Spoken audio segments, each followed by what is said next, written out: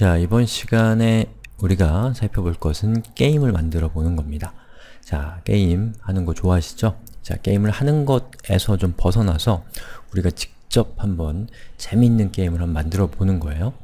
자, 그런데 여러분들이 처음부터 게임을 만들려고 하면 어렵겠죠. 그래서 제가 간단하고 여러분들이 이해하기 쉬운 형태의 게임을 미리 만들어 놨고 또 여러분들이 그러한 게임을 만들어가는 과정을 제가 천천히 차근차근 설명을 드릴 거니까요. 여러분들이 그것을 따라오면서 나는 어떤 게임을 만들어 볼 수 있을까? 또는 학교에서 배웠던 것들이 정말 게임에 사용되네?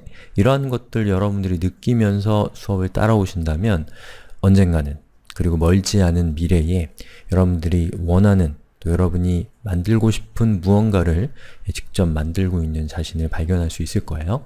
자, 우리가 만들려고 하는 게임은 이렇게 생긴 게임입니다. 자, 이렇게 생겼고요.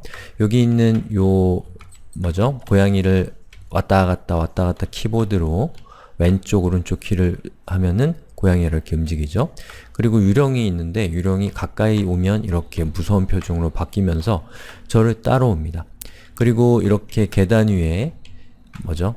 저 도넛이 있는데 또 도넛을 먹을 때마다 여기 있는 숫자가 올라가면서 어, 점수가 높아지는 그런 게임이에요. 예, 뭐 다음 판은 없고요. 그렇게 한 판으로 끝나는 게임이고 뭐 그렇습니다. 뭐 어떻게 보면 여러분들이 평소에 뭐 스마트폰이나 이런 걸 통해서 접하는 게임들보다는 단순한 게임일 수 있지만 여러분들이 이 게임을 한번 만들어 보시면 예, 그런 이런 단순한 게임조차도 아주 많은 사람 그 아주 많은 노력이 필요한 것이다 라는 것을 여러분들이 알게 될 것이고요.